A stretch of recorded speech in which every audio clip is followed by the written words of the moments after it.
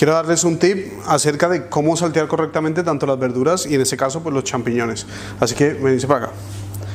Lo primero que hay que saber es cuando vamos a saltear lo que buscamos es que dore la superficie del alimento pero por dentro tengamos la textura crujiente o jugosa de, de ese mismo, ¿no?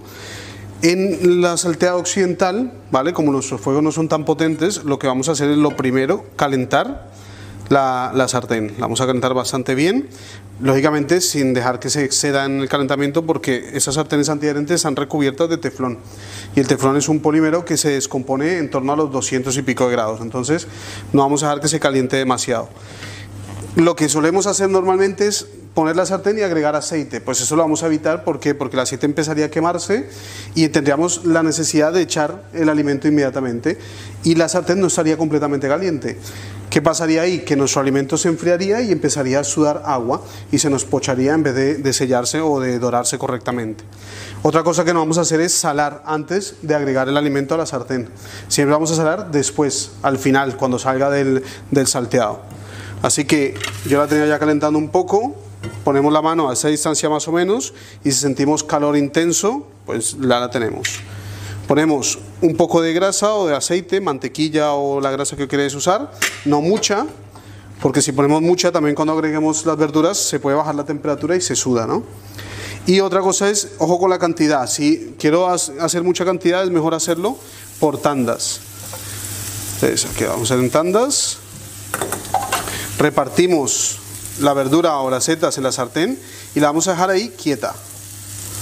Vamos a hacer un poquito más de aceite. Porque otra cosa que solemos hacer es moverla constantemente. La movemos y las vamos moviendo. Ese movimiento lo que hace es que otra vez se enfríen las verduras y empiecen a exudar agua y se nos pochan. Así que un ratito ahí quietas. Un poquito ahí, la extendemos bien. Es casi como marcarlas a la plancha. Lo que hacemos aquí es recrear lo que se suele hacer en restaurantes sobre una plancha. En una plancha en un restaurante está encendida constantemente o por lo menos durante el servicio. Entonces, claro, es algo que está siempre caliente. Cuando agregamos un chipirón, una verdura o lo que vayamos a hacer en la, plancha, ya tenemos la ventaja de que aquello ya está mucho más caliente y, agrega, y, y entonces tenemos ese efecto que estamos buscando hacer aquí con la sartén eh, calentándola antes de, de agregar los ingredientes.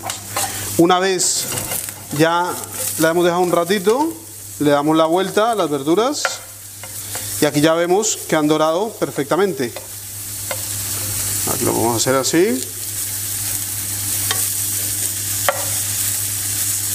Y lo volvemos a dejar quietos.